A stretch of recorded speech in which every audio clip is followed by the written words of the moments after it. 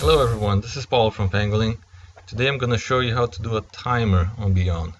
Timers are useful when you want to do a show that starts a specific time. We go to playlist and we're going to add our show. Let's add the test show here. First thing we do is preload the show. So we set the preload flag.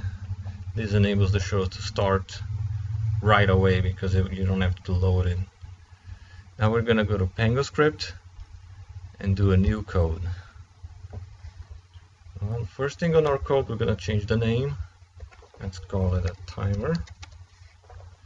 Next, we can unram the auto start and the stop on blackout. This is gonna allow the code to run automatically and if you ever need to stop everything by pressing the blackout key you can just do it and the script is going to stop.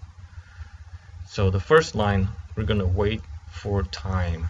So let's look at our command list. Wait for time. St wait for wait for q. Wait for time. Just by clicking on it it appears on the code. So this is your time in hours minutes seconds and milliseconds.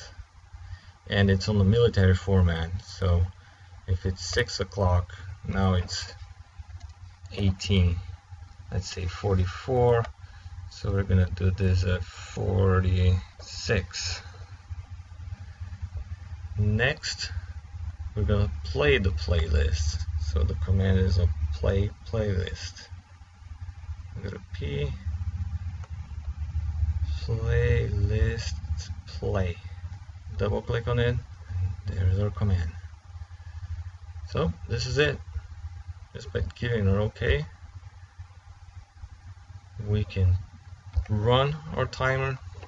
And when the time comes at 6 46 the show should start automatically. Well it's about time. Here it comes. There's our show. Yep that's how it works. And then we can stop the show here. And here in the bottom you can see the code which is pretty simple. Well I hope you guys liked it. It's a good introduction to script and beyond. Later.